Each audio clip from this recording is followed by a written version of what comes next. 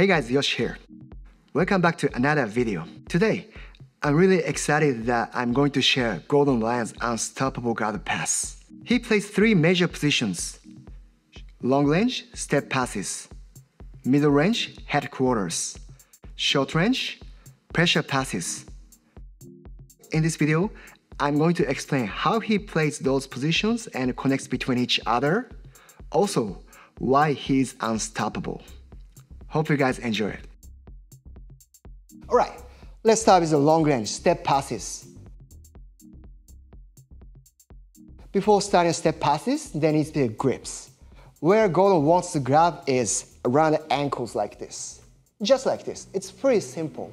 And then from now, not going for the guard pass straight away. Seems like Gordon wants to swing the person's leg side to side like this. Then opponent starts reacting it. If Gordon wants to go this way, seems like uh, he tries to swing a couple of times to go to the opposite like this. Then when he reacts, throw like this. Then this is not like her even complicated idea. Just throwing legs to the side, then Gordon wants to cut in like this. If it happens, guard pass. After that, he's going to establish the upper body control to complete guard pass. Or other idea, so here, there's been action reaction. But he was not able to find a way to cut in to take near side the corner. So in this case, he's gonna do another step pass, like making a control on the hip bone and the knee. Get the arm inside to control the hips like this. Then other one, pin down the knee like this. So this one, it's very important to use uh, like a lead arm in multiple ways. Pressing the hip bone.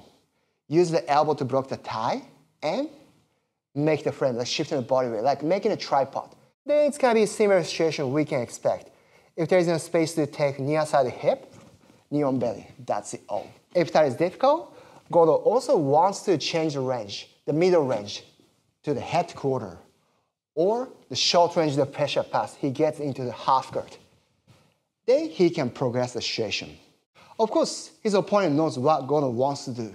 That's why in this case, when Gordon starts swinging leg side to side, his opponent tries to put their knees close to the shoulders like this. So that case, Gordon switch to middle range head quarter, just like this.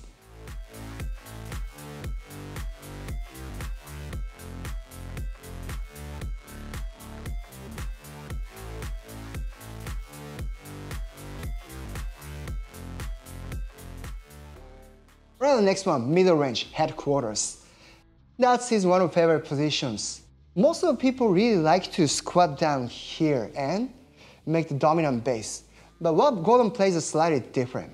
Usually the time he goes to the headquarter, this is the key to make the dominant position. But a lot of guys try to avoid this one.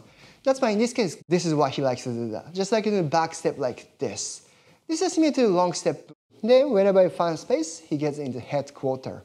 Or if that is difficult, this case, he's gonna do the counter guard pass, high step. What he likes to place is here, just like this. Like temporary crossing the feet, like the X hack. And then, if there's a space, go and pull the right leg out.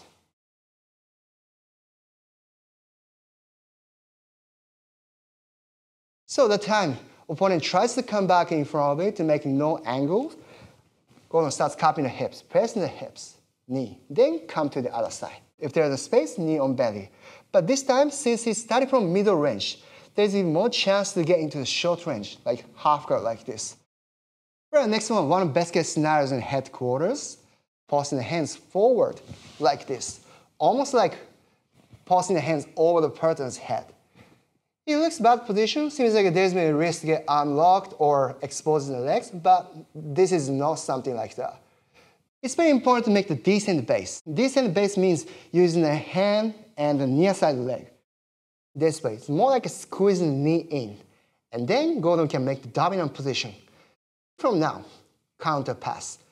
Since in this situation we haven't used the left leg, it's really easy to circle the hip. This, shin on shin. After that, it's pretty simple. Just need to push this one off. Then it's gonna be depends on reaction. If there's a space a lot around the abdominal line, it's gonna be pretty easy to hide the feet underneath, pass and mount. But most of the time, opponent should be catching the ankle it tends to be three-quarter mount, which is okay, short range. Then Gordon can easily start short range pressure passes.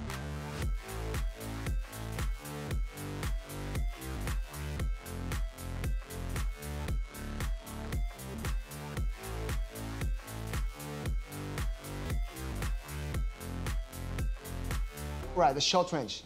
This is the most dominant position he loves to play and no one can stop. There's been a few cases we can consistently get into the position. If that is from long range, like using the step passes to cut into the half guard. From middle range, from the headquarter, from this position, he's going to do the classical underhook pass, like single leg sprawl. Then this is about unlocking the knee shield. If the opponent has compromised with the pressure, that case, Gordon can proceed in action. Once he gets to this position, he really loves to take near side corners. Near side corner means near side hip bone and cross face. Instead of reaching the upper body control, he much prefers to put a knee in here. I call this one taking a near side corner, which is super important. He just simply makes cross face like this. The situation. There's been two corners. It's been taken on the near side, hip and shoulder, like this. There's been a few cases. If Gordon can find a space under the armpit, he makes underhook straight away. And then after that, make butterfly hook to three-quarter mount for the mount. That's option number one. But most of the time, his opponent does good job. He didn't allow to give the underhook. Gordon wants to apply the knee first to go to the headquarter armpit has been completely opened. Take underhook. So after that, as soon as it happens, he likes to make butterfly hook here. Then in this position, it seems like he wants to control opponent's head as well. If I can say specific, seems like he wants his chest or shoulder to lock opponent's forehead. Then it can be very hard for his opponent to bridge or hip escapes.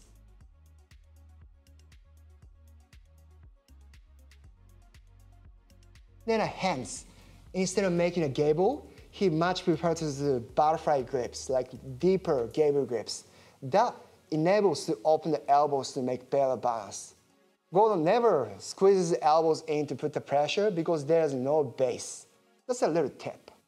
Well, another idea. This time, Gordon wants to make heavy cross face, like making the cross face with both of the arms.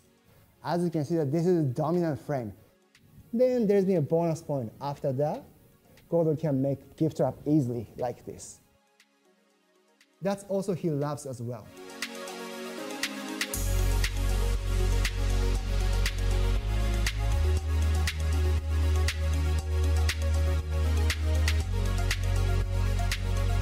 Alright, that's been it. Do you guys enjoy this video? So, please make sure hit the like button to make this video viral on YouTube. I much appreciate your support. Also, if you haven't subscribed my channel yet, please don't forget to do that for upcoming videos. Thanks so much. I'll guys catch you next video. Bye.